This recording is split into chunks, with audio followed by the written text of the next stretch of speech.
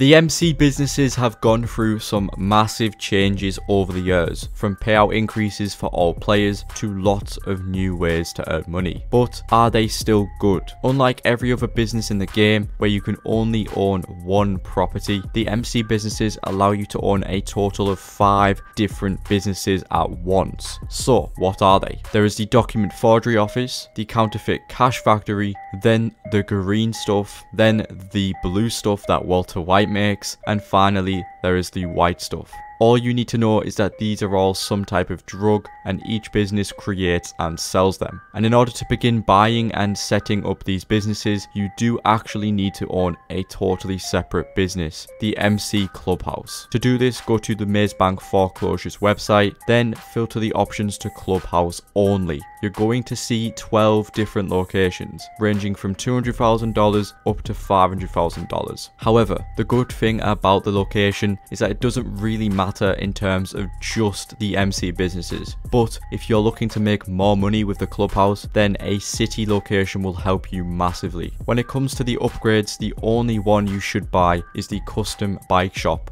which costs $530,000. Before buying this, let me explain how it earns you money inside the clubhouse. So there are three different ways to earn money. The customer deliveries, clubhouse contracts, and lastly, the clubhouse bar. The customer deliveries can only be started through the custom bike shop upgrade. So how do they work? Every 30 minutes to an hour, a customer will drop off their bike inside your clubhouse. You can decide to modify it and deliver it back to them for some very easy money. How much money? When you begin customizing the bike, you will see certain requirements from the customer that they want on their bike. This will cost you $10,000 to do and every delivery you make earns you $60,000, meaning a very easy $50,000 profit. But there is a way to get more money. You may receive bonuses depending depending on how you customize the bike. Remember those requirements? Well, if you ignore them and simply do your own thing, the customer is either going to love what you did and give you a bonus, or they will hate what you did, deducting your earnings from either 2,500 up to $5,000. Inside your clubhouse, there is a bar. This can earn you some money, as long as you keep resupplying it. To do that, start a supply mission from the bar. This will send you out to collect a van full of supplies and if you deliver it back with minimal damage, the bar will make you $5,000 per day passively, only if you keep it supplied. These resupply missions will keep your bar full for 4 in-game days, making you $25,000. When it is empty, you will need to complete another mission, and to collect your earnings, go to this duffel bag inside your office, which holds a maximum of $100,000. If you want some easy pocket money, then this can be worth doing every once in a while, but the amount really isn't worth it. Your clubhouse has contracts. These are basically VIP jobs, but they pay a little bit more. So how do you start them? Head over to this board inside your clubhouse. There will always be three random contracts at a time for you to start. And with there being 13 different contracts, 8 of them can be done solo. And if you want to make these worth your time, only ever do the life and death bikes contract as it pays $37,000 for only 5 minutes of work.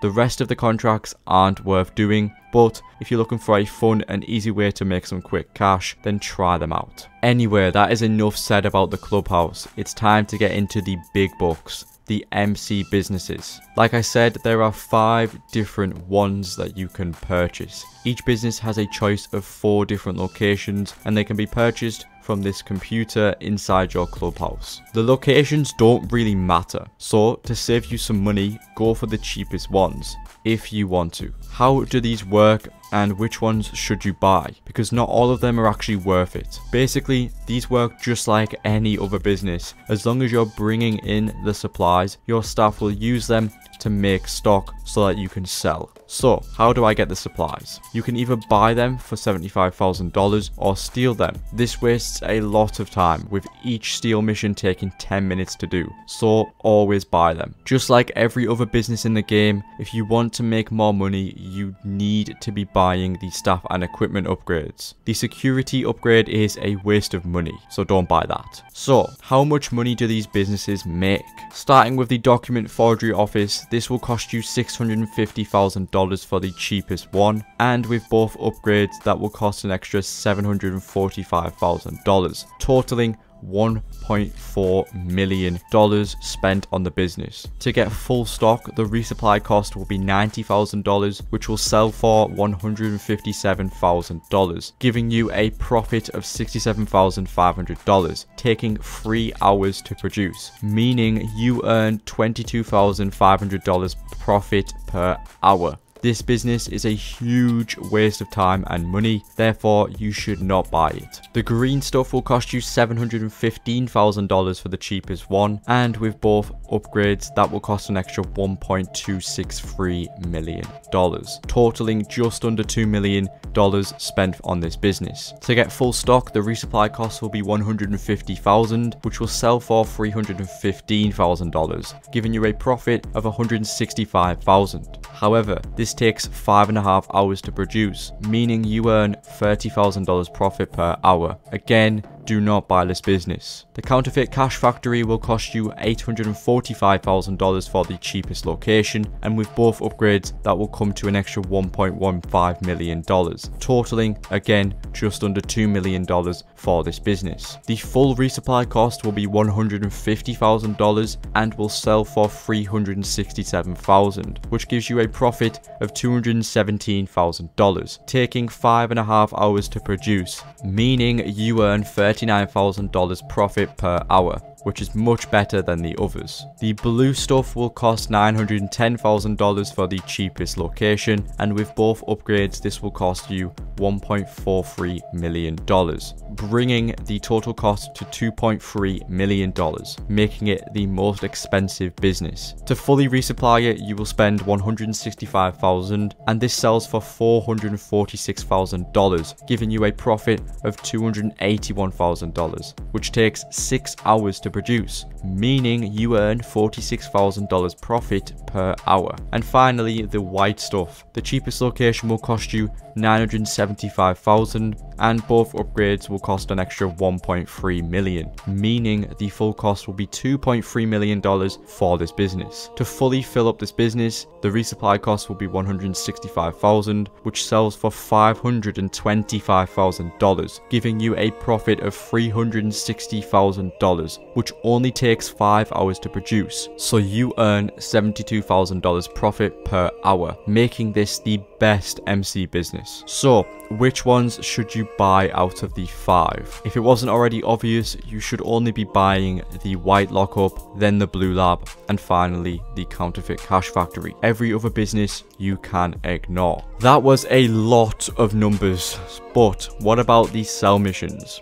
All of these businesses have different types of selling missions. You can get the planes, the buzzards, the boats, the garbage trucks, or everyone's favourite, the post op vans. These types of missions will always spawn 4 vehicles with 5 drops each when selling a full business. But they will now have a 45 minute timer when selling as a solo player, which does make certain missions possible except for post-op vans, which can still not be completed within the time limit. However, there are better sell missions that you can get, such as the bike drop missions, which only require one drop off per bike, or you can get extremely lucky and receive the single truck mission, which you will only ever get for the green business, the white stuff and the cash factory businesses. The main thing to know is that for every one and a half bar of stock, you will get one vehicle. And even with the time limits being increased to 45 minutes for solo players, it can still be very risky to sell a full business solo. It just depends on the type of mission that you get, because some of them can easily be done as a solo player, especially these single drop-offs, and others, such as the post ops, cannot be done. But with all that being said, that is everything you need to know about the MC businesses. And although they do have their downsides, some of them can make you some pretty simple passive income. However, do I recommend buying them? Obviously, if you have the money and you want to earn some extra passive income, definitely buy them. And as well, if you own the nightclub, you will only ever need the coke lockup, the Cash Factory, and the Blue Lab if you want to make the most amount of money from the nightclub's warehouse. So if you're looking to make the most money from passive income with the nightclub and the businesses themselves, only buy those three businesses. Other than that, don't forget to subscribe and check out another guide that are on screen now, and I'll see you all in the next one.